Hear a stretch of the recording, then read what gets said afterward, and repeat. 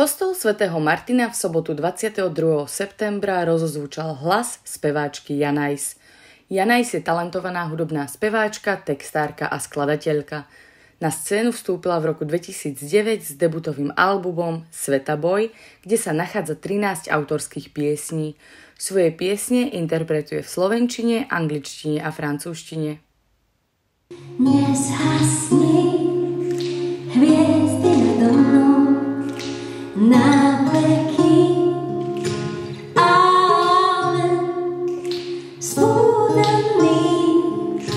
No co dają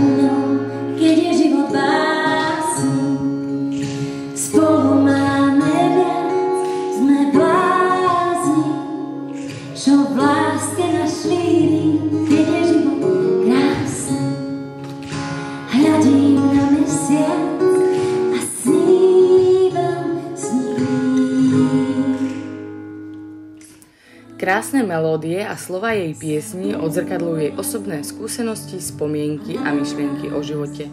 Spolu s jej manželom prinášajú na slovenskú hudobnú scénu kvalitnú produkciu vhodnú do komornejších priestorov i na veľké pódia. Jej charakteristický pop s prvkami folku a šansónu si získava poslucháčov všetkých vekových kategórií.